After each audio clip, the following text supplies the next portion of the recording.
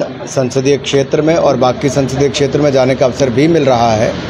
एक कार्यकर्ता के नाते संगठन को और मज़बूत करना अपने क्षेत्र में पार्टी और कैसे मज़बूत हो यहाँ पे विकास की जो बातें हैं उनको लेकर भी।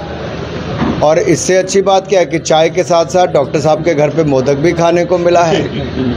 गणपति जी का आशीर्वाद भी लेंगे और प्रसाद तो मिला ही है। आपने पहले कभी खाया है मोदक? मैं बहुत बार खाया है। बहुत बार खाया। मैं युवा मोर्चा के राष्ट्रीय अध्यक्ष के नाते महाराष्ट्र के बहुत प्रवास किए मैंने। जब पंकजा मुंडे जी प्रदेशाध्यक्ष थी तो उस समय भी मैं काफ़ी साल पहले इनके साथ इसी क्षेत्र में प्रवास करके गया हूँ।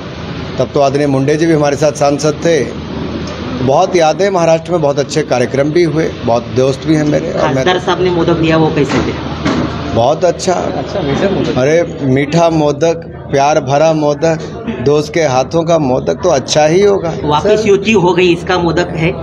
हमारी युक्ति तो पहले से ही है। मुझे लगता है मीडिया को जब तक थोड़ा मिर्च मसाला ना मिले मोदक जितना मर्ज़ी मीठा हुआ फिर भी मिर्च मसाला ही ढूंढते रहेंगे।